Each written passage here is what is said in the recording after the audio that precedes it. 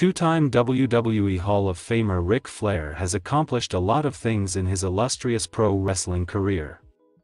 Flair remains a controversial figure thanks to his numerous escapades over the years. Last year, Vice's Dark Side of the Ring aired the second part of their third season which focused on the plane ride from hell. Ric Flair was removed from WWE's opening video package as his woo was edited out. However, WWE would bring back Ric Flair in the opening video package earlier this year. Triple H was also made head of WWE Creative after Vince McMahon retired.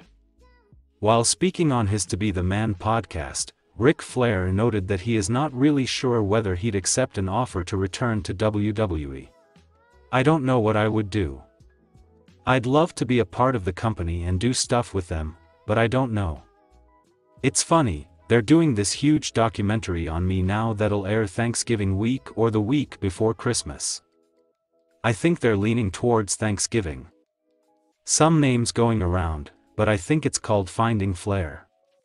This will be better than my 30 for 30 on ESPN, because I made them promise me that whatever I said they wouldn't edit. I'm not gonna do something that's gonna be edited again. We'll have to see what Ric Flair will do next, as fans might want to see him back in WWE somewhere down the line.